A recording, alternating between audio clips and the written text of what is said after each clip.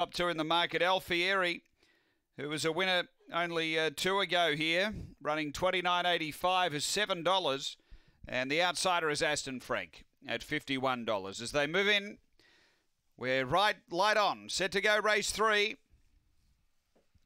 Mixed graded three, four, and five here at Murray Bridge. They're on their way.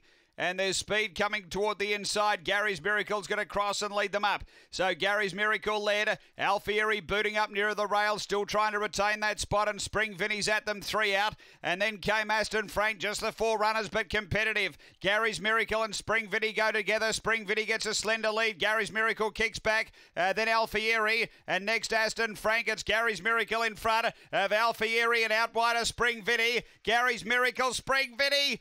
Oh boy, maybe Spring Vinny from Gary's Miracle, but there's not much in it than Alfieri and Aston Frank. The time here is around 29 and 90. They drive Gary's Miracle in front. The dive comes from Spring Vinny. They're wide apart. We stand by. This is a uh, pretty tight finish after the running of race number three. Um, Gary's Miracle was seriously challenged by Spring Vinny before the bend, uh, and Gary's Miracle responded, but so did Spring Vinny. He kept rallying strongly. Uh, now the two has lasted, take note. Number two is the winner. Gary's Miracle is first. Uh, second is number eight, which is Spring Vinny. And third, the time here is 29.90.